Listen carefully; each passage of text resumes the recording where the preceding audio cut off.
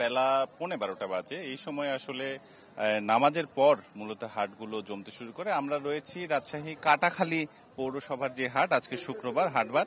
তবে গরুগুলো সবেমাত্র আসতে শুরু করেছে এখানে এবং ক্রেতা বিক্রেতাদের আনাগোনা ক্রমে বাড়ছে। তবে এই হাটটি মূলত বিকেল বেলা একেবারে পা ফেলার জায়গা পাওয়া যায় না, এই ধরনের ভিড় হয়। সকাল আটটা থেকেই মূলত শুরু হয়, কিন্তু সকাল থেকে ছাগলের হাট বিশেষ করে যেটি পাশেই খাসি, ছাগল কেনা বেচা সেটি চলছে। এবং শুরু হয়েছে শুধুমাত্র অল্প কিছু গরু এই মুহূর্তে আসছে। তবে দাম অনেকটাই বেশি হাঁকছেন বলে ক্রেতাদের অভিযোগ। বিক্রেতারা বলছেন যে এ বছর গতবারের চেয়ে খুব বেশি দাম বাড়েনি অল্প কিছুই দাম বেড়েছে তবে সব গরুর খাদ্যের যে দাম সেটিতে তারা আসলে হিমশিম খাচ্ছে। ওয়ালটন ফ্রিজ কিনে অনেকের মতো আপনিও হয়ে যেতে পারেন মেলেনিয়া সেরা পণ্যের সেরা অফার।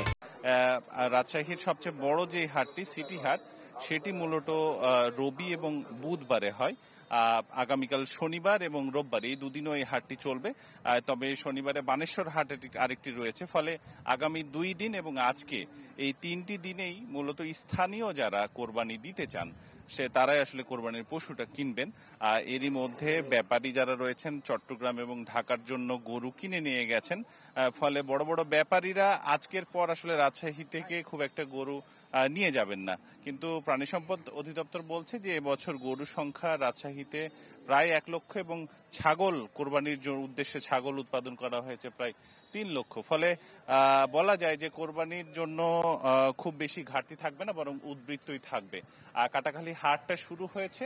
এখন গরু আসা শুরু করছে এবং তিনটে থেকে চারটার দিকে আসলে এই হাটটি জমে উঠবে।